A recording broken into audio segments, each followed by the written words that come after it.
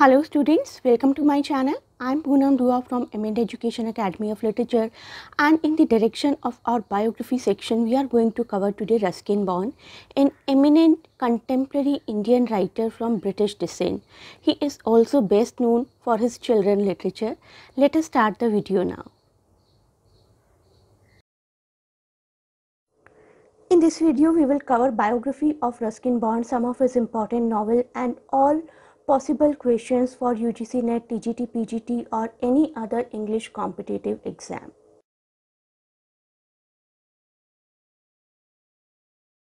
Please do not forget to share and subscribe the channel. You can also call us to join our online classes.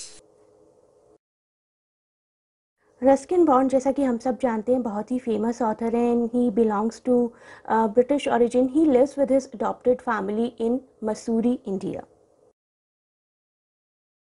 he is an eminent contemporary writer of British origin, I told, and he authored inspiring children's book and was awarded Sahitya Academy Award to honor his work of literature. Born on May 19, 1934 in Kasauli, India. Kasauli is such a beautiful place. Everyone should visit at least once. Let us come back to Ruskin Bond now.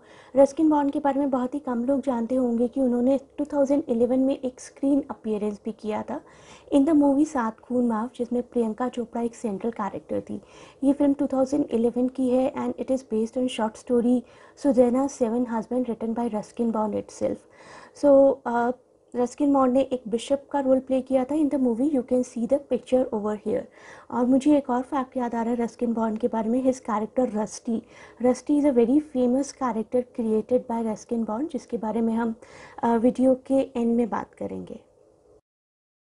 तो Ruskin pond के बारे में बात की जाए और उनके awards के बारे में ना की जाए, ऐसा पॉसिबल नहीं है।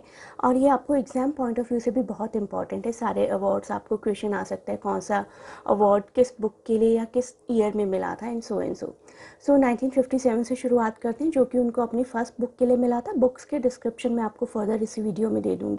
अभी सिर्फ़ अवार्ड्स पर कॉन्सेंट्रेट करते हैं। 1957 John लेलिविन Rhys prize 1992 Sahitya Akademi 1999 Padma Shri 2014 Padma Bhushan and 2017 Lifetime Achievement Award.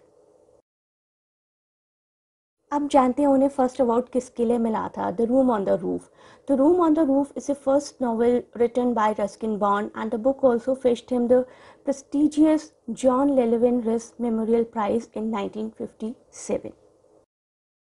He was awarded Sahitya Academy Award in 1992 for All trees still grow in Dehra, his novel in English. We will discuss about this novel as well in this video.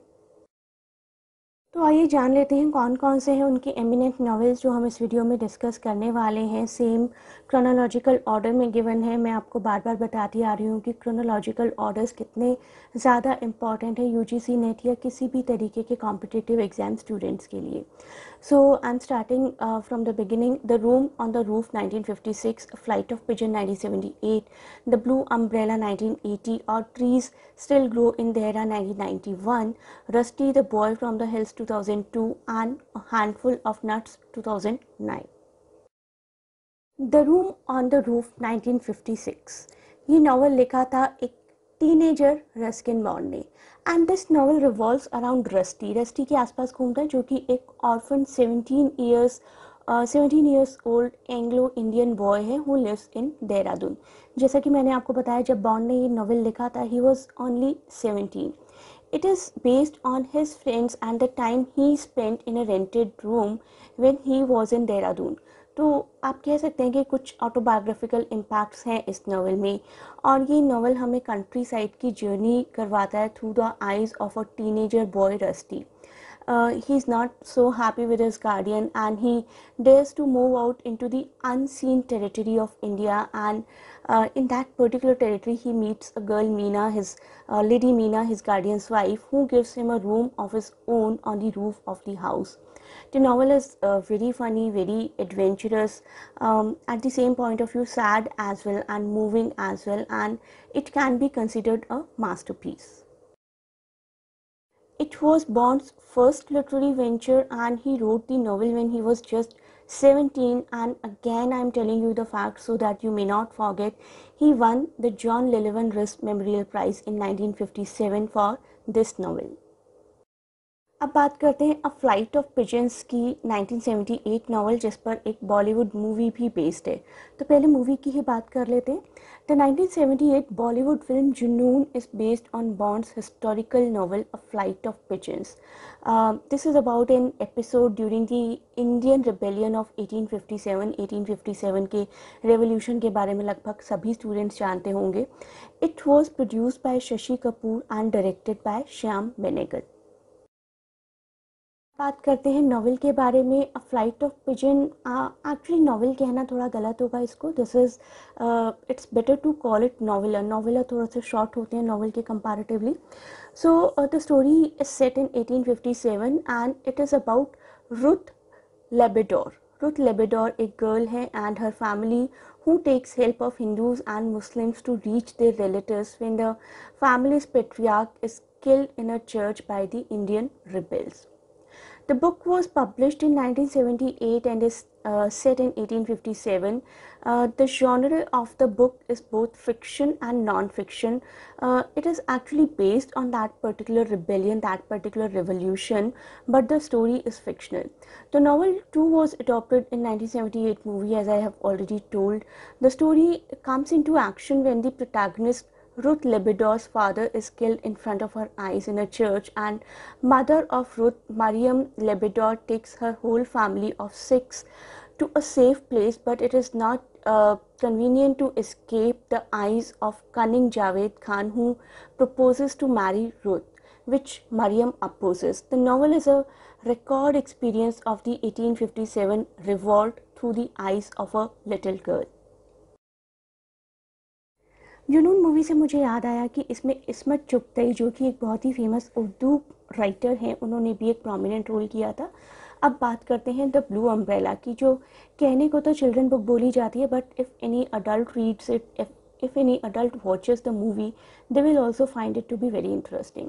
2005 में director Vishal Bhardwaj again Vishal Bhardwaj, उन्होंने एक film बनाई थी on is on is popular novel for children the blue umbrella on Ruskin Bond's popular novel The Blue Umbrella. The movie won the National Award for Best Children's Film. Vishal Bhardwaj ने Shakespeare की trilogy पर भी movie बनाई है Macbeth Hamlet and Othello उसके बारे में भी मेरा एक सेपरेट वीडियो है जिसका लिंक मैं आपको डिस्क्रिप्शन में दे दूँगी। द नॉवल ब्लू अम्ब्रेला पर वापस आ जाते हैं। It was written in 1980 and was also adopted into a Bollywood movie by the same name story एक गर्ल के आसपास रिवॉल्व करती है जो कि गढ़वाल में रहती है और उस लड़की का नाम है बिनिया। वो uh, अपना एक पेंडेंट ट्रेड करती है to acquire a very beautiful coloured blue umbrella the beautiful blue umbrella makes everybody jealous of her तो वो अम्ब्रेला एक्चुअल में इतना ब्यूटीफुल है कि गाँव में सब लोग उस अम्ब्रेला को एक्वायर करना चाहते हैं। The umbrella becomes the central point of her life which she finally gives to a needy old man. And the book is not only for children, but for adults too, that I have. अब पढ़ते हैं 1991 की तरफ़ our trees still grow in Dehra it is a collection of short stories not a novel but her story में एक tracing of life है childhood से adulthood तक का। स्टोरी की शुरुआत होती है जावा से और स्टोरी पहुँचती है India in the cities like Bombay जिसको हम मुंबई कहते हैं अब। Delhi and finally in the beautiful landscapes of Himalaya 2002 की तरफ़ आते हैं Rusty the boy from the hills Rusty uh, is a quite imaginative and sensitive boy who lives with his grandparents in pre-independence Dehradun Ruskin Bond को देहरादून से बहुत ही ज़्यादा प्यार था तो उन्होंने अपनी कई बुक्स में देहरादून का मेंशन किया है।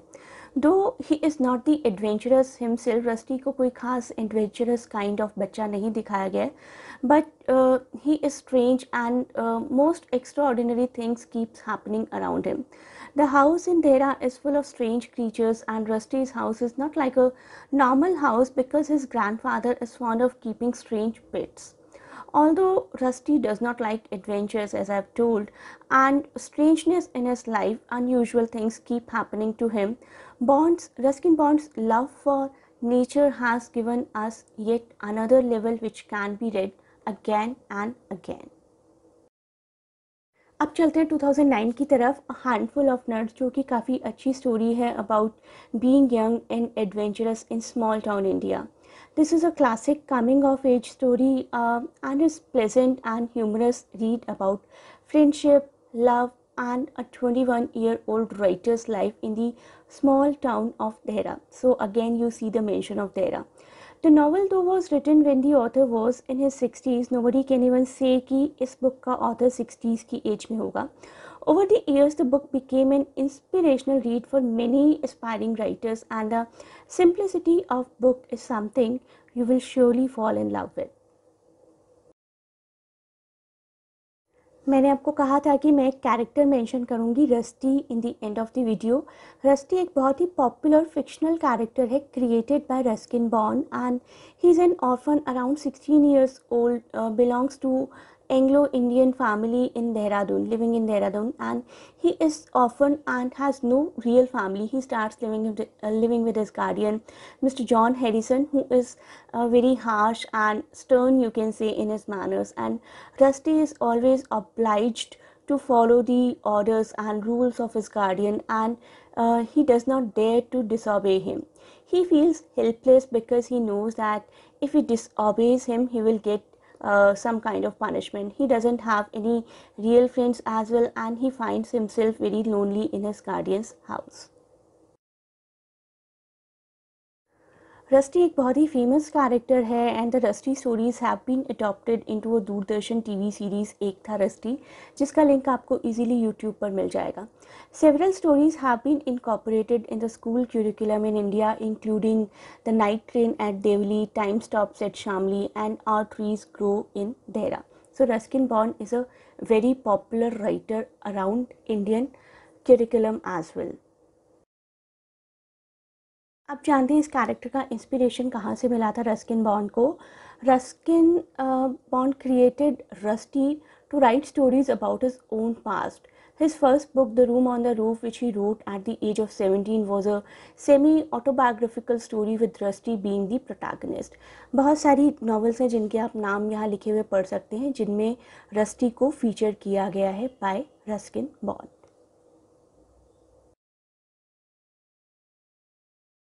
So we reached to the end of the video and please do not forget to like the video, put your comments, put your valuable comments in the comment box and do watch the next part जिसमें कि हम MCQ discuss करेंगे Ruskin bond से related ही एक तो उसमें आपका revision होगा थोड़ा सा इसी वीडियो से related plus you will be able to retain your memory as well. So continue watching our channel. Thanks a lot for watching and best of luck for your exams.